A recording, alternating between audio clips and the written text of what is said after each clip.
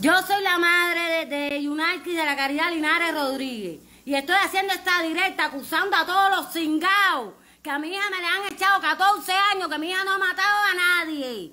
A nadie. Yo no entiendo que un pedazo de lata valga más que la vida de un ser humano porque no tienen a mi hija presa. Tengo tres menores hermanos, tengo como pinga subirle la a mi hija porque a mí el Estado no me mantiene ni pinga. Y tengo tres niños chiquitos. Mi mamá enferma de los nervios, no hay pastillas. Mi hijo estudia y no tengo ni dinero para que vaya para su escuela. ¿Hasta dónde pinga? Van a acabar con nosotros que no tenemos ni comida ni pinga. No tengo ni merienda. Un refresco vale 10 250 pesos. ¡Asesino! Ya.